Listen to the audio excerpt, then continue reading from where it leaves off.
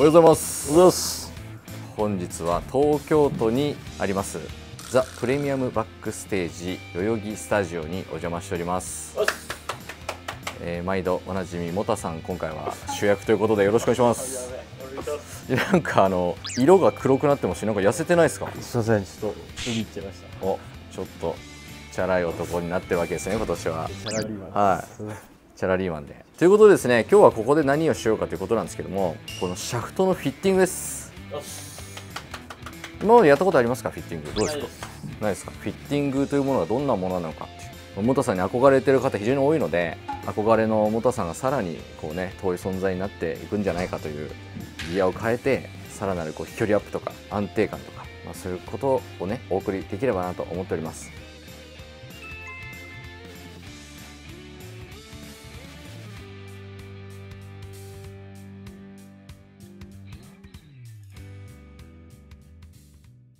ということで今日はですねフィッティングをしてくださる方をご紹介したいと思います。よろしくお願いします。ザ・プレミアムバックステージの広永恭平と申します。京平さん。はい。めちゃくちゃイケメンじゃないですか。いえとんでもないです。今日の画角はイケメン2人ということで。フィッティングの重要性についてフィッター目線で言うとはい。どうですか？どんな人にぜひこううちに来てくれっていう。少し悩んでる方っていうところを、まあ、自分のスキルだけでなくて、まあ、クラブにもちょっと、えー求めてもいいんじゃないかなと。やっぱり100切り前後とか、はい。まあ、ゴルフ始めたばっかりの人とかですね、はい。こう自分なんか本当にそのフィッティング行って、まあ、シャフト変えて意味があるのかみたいなうん。疑問に思ってる方もいると思うんですけどもその辺はどうですか？そうですね。意味はまずあると思いますね。自分の特徴としてはスイングのタイプとかそういったものでもあこういったタイプのシャフトが使いやすいんだなとかここの場所に来ていただければ理解できますのでまずは来るということがすごい重要かなと思います。ありがとうございます、はい。ドライバー 8X ですもんね 重さ硬さ まあそれがあのこう選び方が合ってるのかっていうところも含めて今日はいろいろと、まあ、新しいこうちょっとシャフト探しということで元さんのゴルフを進化させていただけるようによろしくお願いします。はい、よろしくお願いします。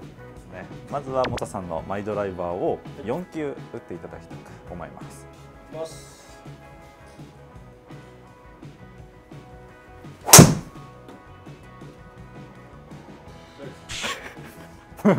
めちゃくちゃめちゃくちゃ右行きました。ね。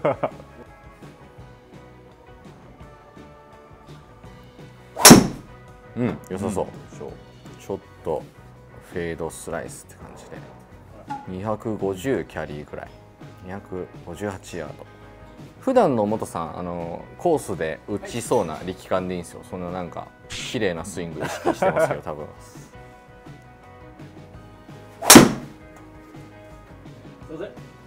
そうっすよ。そんくらいやっぱり振りに行ってみてっていう。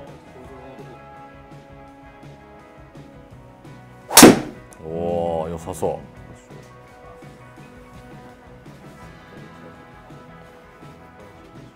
う。手応え手応えどうすか？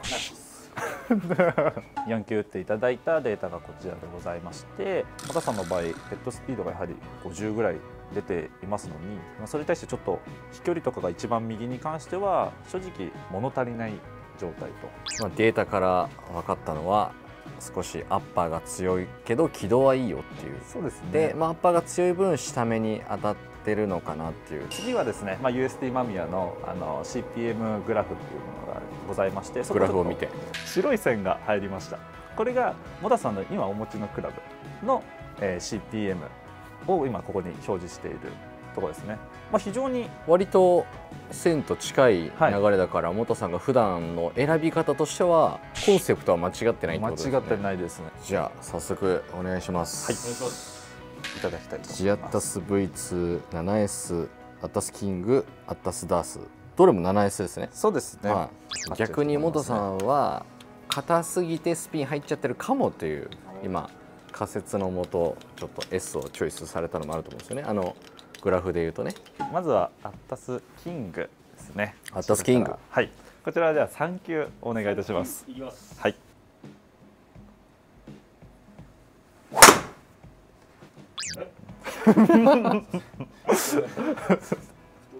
そうそうそう。シャフト側から合わせてくれる回なの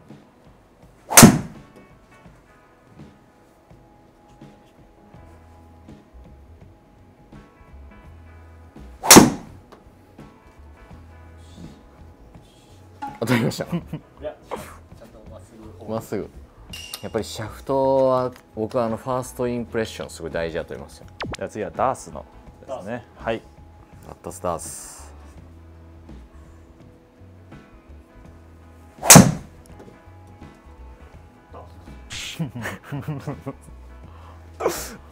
まあコースでよく見るボールですけどね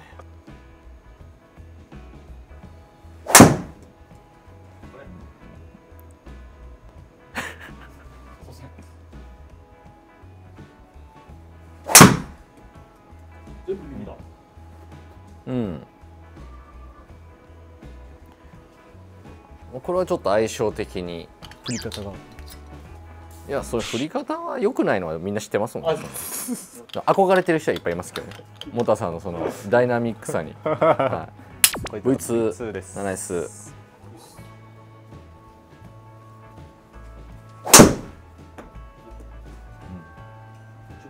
い、うん。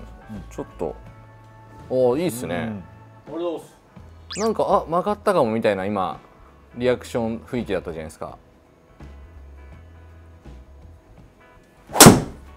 うん。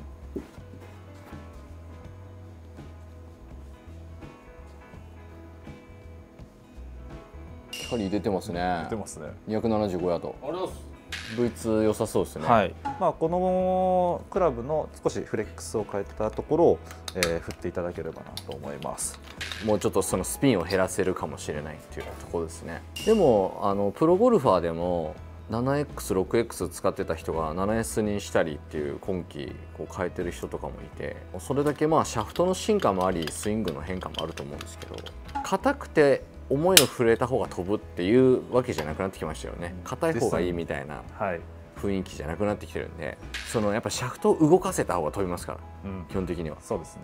と 6X の前にお女子 CP の中で言う一応試しで。と 6SX という。細かいこうフレックスが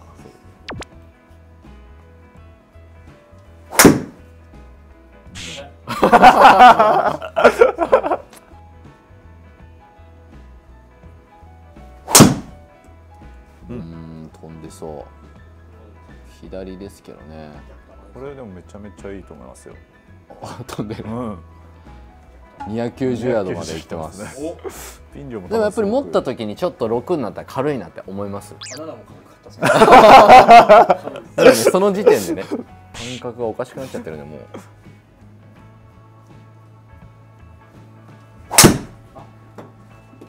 下です。すいませんここ重たいのに変えられるんでそこで重さの感覚を変えるっていうのもありなんですよ。じゃあ次はお待ちかねの 6X を。6X うん。うん。これは飛んでる、まあ、基本やっぱ6の方はまあ飛んでそうっすよね。そうですね。距離はね。290ヤードまた2回目。おー。うんでもね基本的にはね V2 の雰囲気は間違いなくね合ってますね。まずどれも見てると打ち出す最初の出球の方向がストレートに出てるのでうん。他と違ってやっぱり安定はしてるそうですよね。は初めから右が一発も出てないんで。うん。うん、ここもね V2 打った時は本当切り返しのタイミングの取りやすさっていうのにすごく驚いた印象なんで。今 7X ですか？7X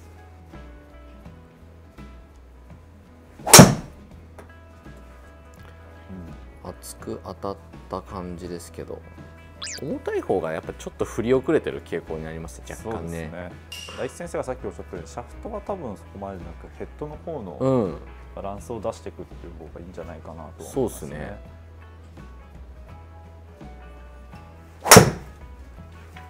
ありがとうございます。やっぱ 6, 6だと思いますよ僕、うん、60グラム台が。6, 6で ヘッドバランス出す作戦ですよ。今こちら全部 V2 の比較をさせていただいてるんですけど、まあ、一番上はマイドライバーのものなんですけどもキャリーと、まあ、総距離だけで申し上げると 6SX が、まあ、初速も出ているしいいところなんですよね、ううん。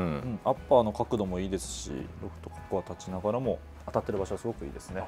僕間宮さんのシャフト長いんでよく挙動とか分かるんですけど見た感じは僕の感じはあの V2 の SX でちょっとチップカット入れてでバランス出すっていうのがもう最高の組み合わせだと思うんですけどどうですか？いやいいと思いますね。スピン量減るっていうとちょっと前側ですか？そうですね。こちら側には TS2 って書いてある。2が消えるぐらいのところ。に2のところ。おお下目だけど250ヤード。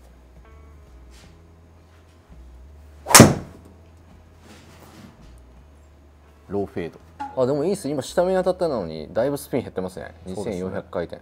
これ多分 D いやいいいくんじゃないかなと思いますね、ちょっと僕これ持ってみていいですか？わあもう全然違いますよ。でもこれ元さんが持ってた 8X とかそれかそれ以上くらいのもう重さですよ頭が重いとあのシャフトはしなりやすくなりますよ。そうですね。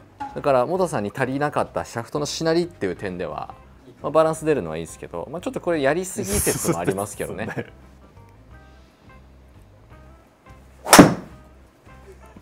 う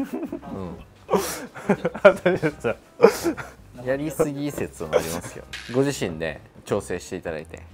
8X から 6SX に。全然疲れないですうん。あ、そうですね。まあ単純に多分疲れないっていうのも。自分で変なスペックを選んでただけですからね はいということで、はい。お疲れ様でした。お疲れ様でした。今1時間半くらいちょっとフィッティングをさせていただいて普通の流れも大体そのくらいですか？そうですね。1時間90分、はい。最終的な一番合ってるよってなったのはジアッタス V26SX ということでだいぶ変わりましたねという。かっこいい。いやかっこいいですね SX かっこいいです。名前も。まあ最後やっぱり何球か打ってたら一番やっぱり落ち着いてきたなっていう感じがするんで。で軽い方が早く振れますから。軽いです本まあ多分 8X も軽かったと思うんですけど。いやいやでも6になってまあ本来あるべきあの飛距離もちゃんと出てはい。曲がり幅も収まるっていうあのちゃんとフィッティングであのあるべき姿を。ところにはい。あの戻していただいたという ところで。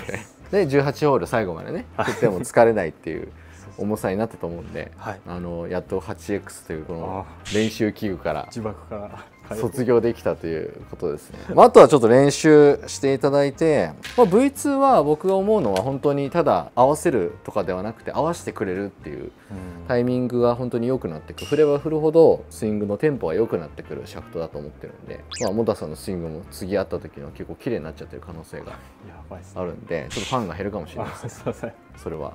綺麗にぜひちょっとあの新しくはい。ちょっと切り替わったタイミングで少し練習して、はい。あのラウンドでどんな感じになってるのかちょっと8月スケジュールぜひ開けていただいてラウンド行きましょう。お願いします。まあこうやってドライバーが変わったんでちょっと他のクラブとかもこういう風にあの合わせてみるとまたちょっと違ったシャフトになってくる可能性高いんで、はい。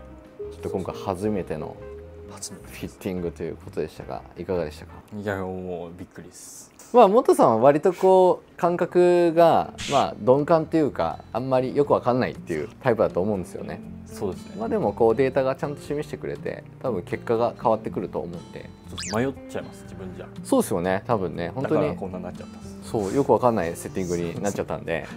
まあのまあそれもゴルフのね楽しみ方ではあるんですけど、はい。まあやっぱりこうラウンドでねいいショットとはい。安定したスコアっていうのを目指すのは、まあやっぱりちゃんと正しいデータをもとにクラブ選んでくださいということですね。そうですね。その第一歩です今日は。すいませんでした。はい。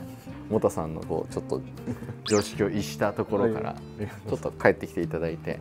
ということであの皆さんもぜひあのクラブね、はい。まあやったことない人はまずやってみるのをねおすすめかなと思ってます。今持ってるものが合ってるっていうことが分かるだけでもねこうちょっと違うと思いますし、まあ、そこでちょっとこのドライバーはこうとかドライバー合ってるけどウッド合ってないとか、まあ、ウッドドライバーはいいけどアイアンがもうちょっとこうした方がいいですよとかやっぱりヒントというかこれからゴルフが変わってくるこうきっかけになってくると思いますのでフィッティングって結構いろんなところにねありますしここまで手厚くフィッティングしてくれるというこのザ・プレミアムバックステージここは代々木スタジオと虎ノ門スタジオがあるということなんで、えーこれはインターネットから予約できる電話でも OK ということなんで皆さんもぜひフィッティング受けに来ていただいてモタさんとね同じシャフトもぜひ試していただければと思います。今日はありがとうございました。あありがとうございました。りがとうございました。ありがとうございました